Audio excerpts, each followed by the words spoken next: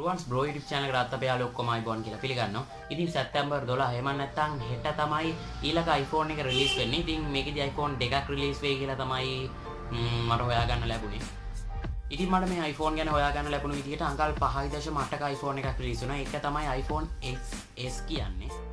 මේ ෆෝන අනිතක තමයි Max version එක. තිය එකඟල් හයදශම පහක XS මැක්ස් කියලා ඒ කියල හිතන ඉතින් එක iPhone X එකයි XS ප්ලස් එකයි මේ දෙක තමයි රිලිස් වේ කියලා හිතන්න. ඉතින් එකක් අඟල් පහයි දශම අටයි අනිත් එක හය දශම පහයි. ඉතින් හය දශම පහක ලොකුයි.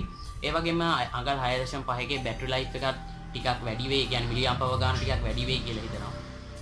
ඉතින් මීට අමතරව iPhone XR කියල එකක් රිලිස්වේ කියලා සිතන ඉතින් හෙට තමයි ඒව බලන්නන්නේ ඔක්කොම දේවල්.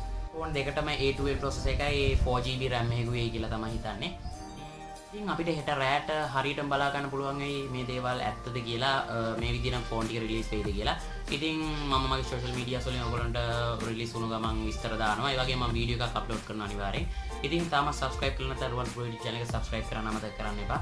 අද ගිල්ලන්නම් වීඩියෝ එකත් ඉතින් යාලු කොටම ගොඩක් ස්තුතියි.